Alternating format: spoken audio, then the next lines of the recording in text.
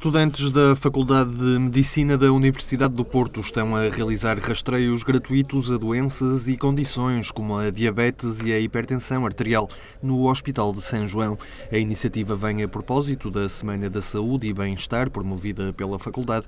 O objetivo é mesmo chamar a atenção para a necessidade de fazer exames regulares enquanto se aproveita para enriquecer a formação dos futuros médicos. É bom para nós, enquanto alunos da faculdade, ganhamos alguma prática nestas duas na avaliação destes dois parâmetros e para as pessoas também, porque acabam por ter mais um valor de, de controle destes dois, tanto da hipertensão como da diabetes. Não estamos a diagnosticar doenças nem nada do género, estamos apenas a chamar a atenção para a importância de medir frequentemente estes valores. Sobretudo a hipertensão é um importante fator de risco uh, para, muitas, para muitas doenças, sobretudo na, na sociedade ocidental, e a diabetes é uma doença também muito prevalente na nossa sociedade, cada vez há mais pessoas diagnosticadas com diabetes e é importante fazer fazer esse controle. Muitos dos utentes aproveitaram os tempos de espera do Hospital de São João para realizar estes exames de rotina. Estava tudo bem.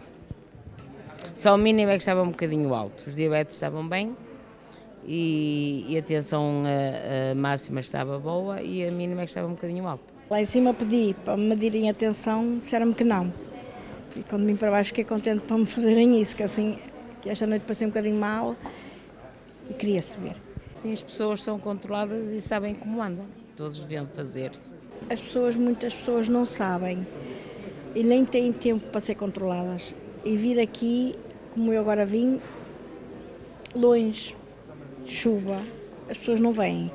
Eu acho muito bom estar assim. Não havia ser sempre no hospital, havia ser também em, em postos médicos ou, ou faz conta, centros comerciais, que é onde as pessoas vão.